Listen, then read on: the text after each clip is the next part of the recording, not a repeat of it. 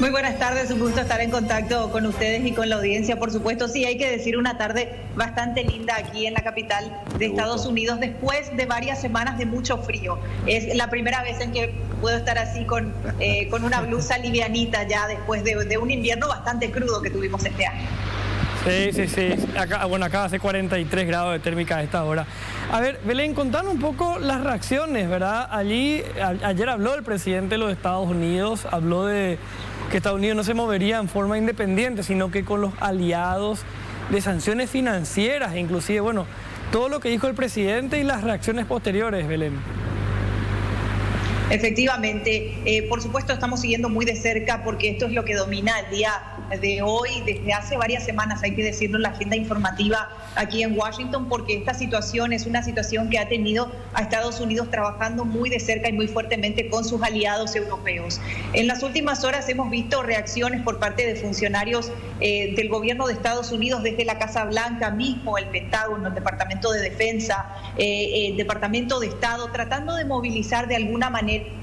eh, los hilos para tratar de, de cierto modo, desescalar esta tensión que fue construyéndose a lo largo de varias semanas. Eh, según reacciones, por lo menos a los medios de Estados Unidos, lo último que podemos confirmar es que desde el Pentágono hablan de que eh, en, el terreno, es decir, en la frontera entre Rusia y Ucrania, aproximadamente 80% de las tropas de las tropas rusas están listas para, para un ataque o para, en este caso, cualquier agresión militar, según eh, funcionarios del Departamento de Defensa, según estos trascendidos a medios estadounidenses. Por supuesto que eso tiene en alerta no solamente a la administración del presidente Biden, sino como decíamos, este trabajo muy de cerca que llevan adelante con líderes europeos eh, para tratar de responder. ¿Responder eh, de qué manera? Responder con sanciones, sanciones económicas que buscan más que nada golpear, digamos, al entorno del gobierno del presidente ruso Vladimir Putin con estas sanciones. Como primera medida y como primera sanción, Estados Unidos acompaña esta decisión que ha tomado el gobierno, el gobierno alemán de suspender la construcción de un importante gasoducto que iba a suministrar por supuesto con gas natural, a una importante eh, región de Europa. Esto como primera sanción y es algo que afecta, eh, tendrá su impacto no solamente en Europa, pero también, por supuesto, tendrá su impacto en Rusia. Y estamos también aguardando eh, a, conocer más sanciones. Sabemos que en los últimos días también Estados Unidos ha impuesto importantes sanciones económicas a bancos y a personas, digamos, señaladas dentro del entorno, del entorno por lo menos del presidente Vladimir Putin y estas sanciones básicamente consisten en que ninguna entidad estadounidense puede realizar ningún tipo de transacción, ningún tipo de negocio con estas personas o con estas organizaciones porque son pasibles de estas sanciones. Significa también que muchos de los bienes eh, que, eh, digamos, estas personas o estas instituciones tienen dentro del territorio estadounidense permanecen congeladas y no se pueden disponer y no se puede utilizar el sistema estadounidense, el sistema financiero estadounidense para realizar ningún tipo de comercio. Es decir, hasta el momento hemos visto sanciones eh, que afectan directamente a, en este este caso, lo que son las fuentes de financiamiento de alguna manera de eh, los gobiernos. Es algo que Estados Unidos eh, eh, de alguna manera suele aplicar eh, eh, en, este, en este tipo de situaciones. Estamos atentos a lo que pueda ocurrir en las próximas horas porque sabemos que en, al menos en el terreno, es decir, al menos en Ucrania, eh, hay información de que se están movilizando también a las fuerzas ucranianas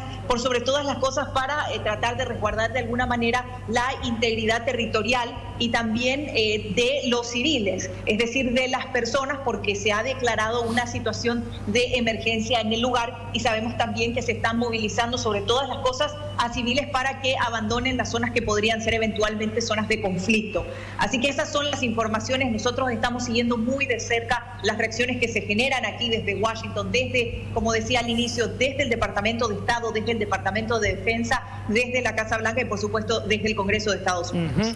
Eh, Belén, una, una, pregunta respecto al tema de las sanciones financieras, ¿verdad? Como, como mencionaste, sí, ya hemos visto en otros casos estos bloqueos que le llaman, algunos y son sanciones que incluso tienen que ver con empresas privadas y, acuerdos entre privados.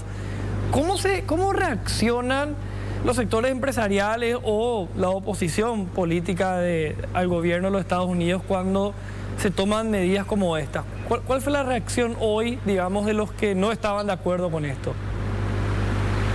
Lo que hemos visto en las últimas semanas, al menos eh, en el Congreso de Estados Unidos, donde usualmente eh, podemos ver al menos las manifestaciones eh, de aquellos digamos, líderes políticos que en cierta manera, de los líderes republicanos que en cierta manera eh, por alguna razón tienen una posición crítica con el gobierno de Estados Unidos en esto que tiene que ver con las cuestiones que hacen a Rusia y Ucrania. En las últimas semanas hemos visto una coincidencia y hemos visto que las acciones que se han tomado desde, eh, desde el Congreso de Estados Unidos al menos han sido bipartidistas. La semana pasada, por ejemplo, hubo una importante votación en el Senado de Estados Unidos eh, donde básicamente lo que fue fue una reafirmación a la administración del presidente Biden o un acompañamiento de todas las acciones y medidas que hasta ese momento estaban tomando. Hemos visto igualmente que en las sesiones que eh, se han desarrollado eh, durante esta semana, tanto en la Cámara de Representantes como en, la, como en el Senado de Estados Unidos, hemos visto al menos un acompañamiento bipartidista a eh, esto que tiene que ver con las acciones que el gobierno de Estados Unidos ha tomado hasta el momento, que son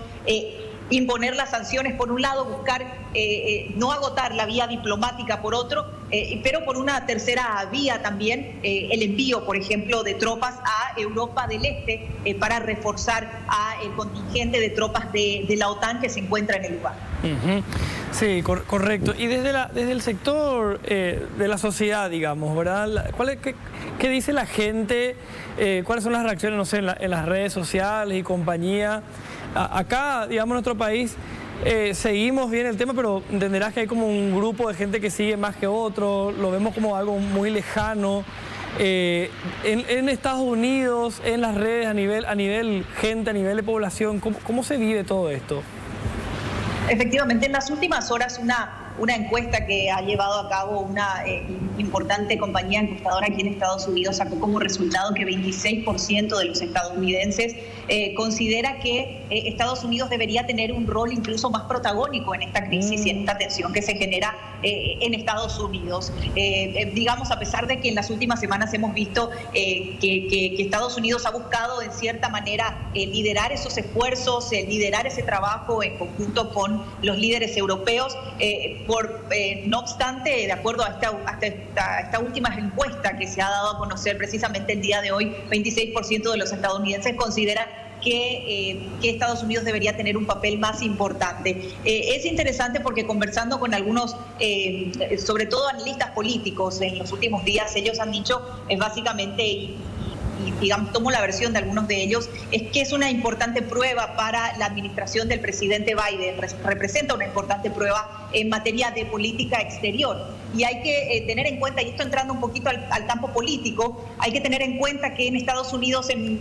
un, par de meses nada más vamos a empezar a hablar de las elecciones, las elecciones mm. de medio mandato o de medio término, que son en noviembre para renovar básicamente a la Cámara de Representantes y a un sector del Senado de Estados Unidos. Así que eh, cualquier acción y cualquier movimiento que se pueda dar o que pueda tomar la administración del presidente Biden es sumamente importante en momentos en que se va a comenzar a hablar de esto. Por otro lado, hay otro aspecto eh, que no quiero dejar de mencionar que tiene que ver con esto eh, que mencionabas, que hace al hecho de que una guerra entre Rusia y Ucrania parece algo muy lejano a, a, las Américas, digamos, no solamente a Estados Unidos, sino también para América Latina. No obstante, si se tiene en cuenta el hecho de que el impacto que esto podría generar desde la perspectiva económica, sin contar con el hecho de, digamos, el impacto que esto pueda tener en materia de vidas humanas, sino hablando desde una perspectiva económica, es un impacto bastante grande que va a encarecer